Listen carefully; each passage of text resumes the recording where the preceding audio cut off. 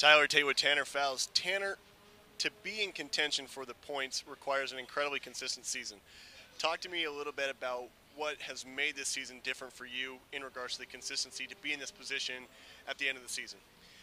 Yeah, well, honestly, it was a rough start to the season. Uh, we did have one win in uh, Daytona, but um, had some mechanical things. Had some uh, got crashed out of some races, which is part of GRC. Um, and so it was difficult to be consistent. Halfway through the season, it felt like we hadn't put in the the consistent results to really have a championship fight. Um, but what really has made a difference uh, this year is just um, honestly, I know it sounds cliche, but it's like the teamwork. It's like the guys came back, and you can really get beaten down from a rough first half of a year, um, but developed, continue developing the car in the right direction, and. Uh, by moving in that right direction, created a car that in the last four races, uh, one of the two VWs have won every one of them.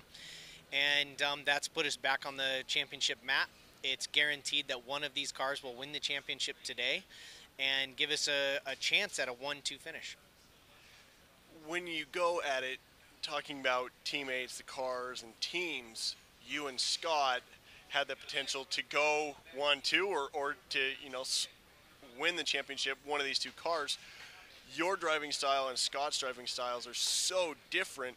What do you think is is so good about your driving style that's going to take place here on this course because the the nature of this course and the weather that we've had?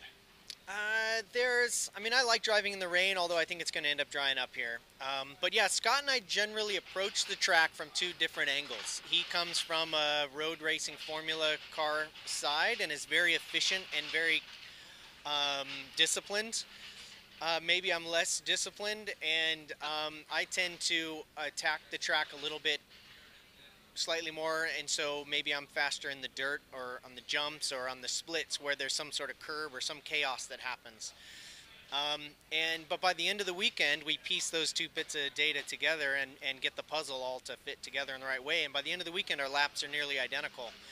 And uh, that's that's the key. I mean, yeah, you're competing with your your teammate, but we realized at the end of last season that the only way that we were really going to bring in a, a, a truly first year effort with the Beetle um, and give it a chance at success is to utilize the, the benefit that we have at approaching the track from opposite directions in order to complete the puzzle as fast as we can. Congratulations on a great season so far. Good luck in today's race, and thank you so much for joining us. Thank you, Tyler. Appreciate it.